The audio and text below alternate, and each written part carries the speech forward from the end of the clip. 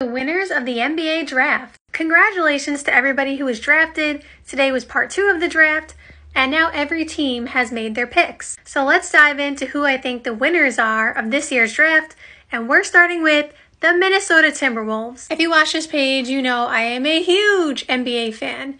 When it comes to college basketball, I am not the biggest fan. So I don't know every player coming out of every draft. Like, that's not how it works. However, Rob Dillingham was one of the guys who I thought was being projected too low. I saw him at number 11, I believe, on some draft boards, maybe even lower, but I saw 11 for sure. And I thought, no way he does not get picked before that. And I thought if he did, whatever team got him was a steal. Well, guess what? At number eight, he was a steal for the Minnesota Timberwolves. Minnesota Timberwolves are a huge winner in this draft. Rob Dillingham of course, he's young. Of course, he hasn't played the NBA yet. But first of all, he went to Kentucky. And I know that doesn't necessarily mean anything necessarily, but we have to talk about the track record of how many guys come out of Kentucky and are very good in the NBA. Besides that, he was the SEC Six Man of the Year, and I just really like his game. I think he's going to be great for Minnesota. I think he fits right in. And I honestly think he will see playing time right away. He's going to get right on the floor. He will take some pressure off Anthony Edwards. I believe Mike Conley is obviously still going to start at point guard, but I think that Rob Dillingham can, Dillingham can come off the bench. And funny enough, he'll be playing with the NBA Six Man of the Year, Naz Reid. And I just think he could take some offensive pressure off of Anthony Edwards from a guard perspective. Because although Mike Conley, as good as he has been in his career, he is closer to, you know, retiring from the NBA than starting his career. He is getting up there in age, and at some point they're going to need somebody else. And Rob Dillingham could fit that bill. Number two, the Utah Jazz are huge winners in this draft. They got Cody Williams, who, by the way, is the brother of Jalen Williams on OKC, the one who had a huge breakout season. I mean, he was really good in his rookie year, too but he got even better this season. But that's not why Utah drafted him so high. it's not because he has a brother in the NBA. Cody Williams, I think, fits perfectly. Again, I'm not the biggest college fan, but I do think he fits perfectly alongside what they're doing in Utah, along with everybody else they drafted. I think Isaiah Collier was a really good pickup as well. I hope I'm not mispronouncing anybody's name, by the way. but I think he was a good pickup as well. The only pick that I was kind of like, huh, was when they picked up Filipowski. But you have to remember, he was on the draft board for a long time. He was supposed to be, you know, first round, and he just kept slipping in the draft. So this is kind of like Utah taking a chance in a way on a guy who was projected to be much higher. So basically, they stole him in the draft, so to speak. The reason I was only like, huh, is not because of his talent, but just because they have Walker Kessler, who right now is projected to be their big man in the future, and he's only been in the league two years, and he's been very good. So that's why I was like, they're taking another center, but at the same time, again, remember, he slipped in the draft. So Utah was doing all the right things. I want to also say before I move on that the Lakers are a winner in this draft just because they got Bronny and now they get to pair him with LeBron, and that was the dream come true.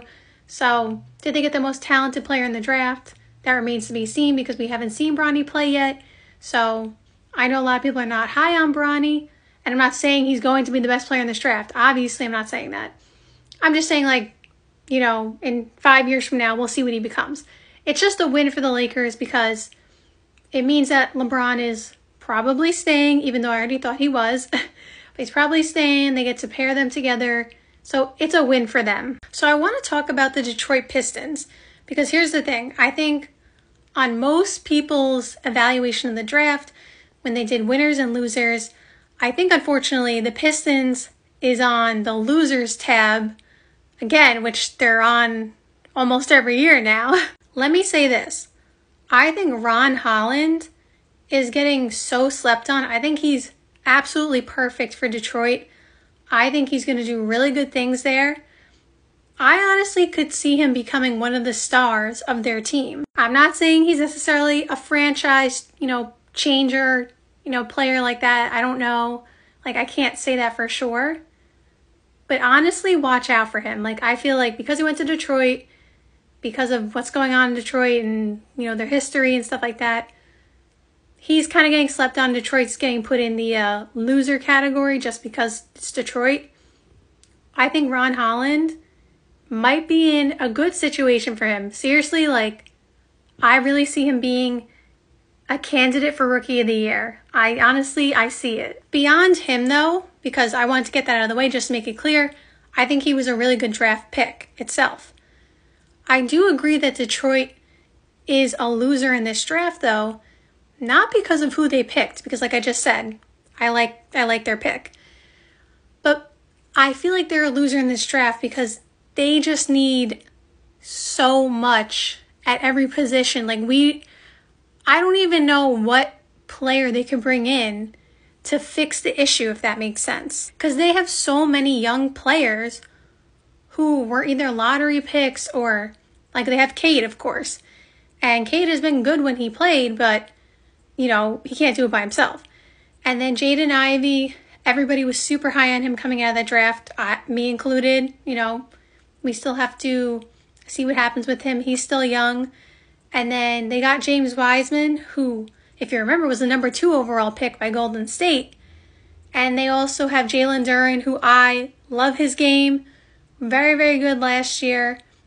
They just have a lot of players where you see their names and you're like, those are talented players, but they can't put it together. And I'm not saying they should be contending for a championship or the playoffs necessarily with that young roster. That's not what I'm saying.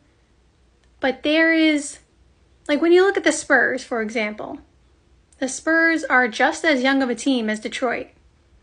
And yes, they have Victor Wembanyama, who is, you know, potentially a generational talent. So it's a little bit unfair comparison. But the rest of the team, for example, if you went name by name, you would say Detroit has talented players like the Spurs outside of Victor Wembanyama. But their future looks so much brighter for some reason. And it's because it's not just about the players, it's about the coaching and how the organization is being run. And so, like, I do feel like Detroit ends up being a loser in this draft just because we still have a ton of question marks around what are they going to do to become a contender in the future, to just look more, you know, put together. And I just want to talk about one more quick winner, by the way, even though we still have Ron Holland on the screen. The New York Knicks are playing chess right now, people. Detroit needs to take a page out of the New York Knicks book, honestly.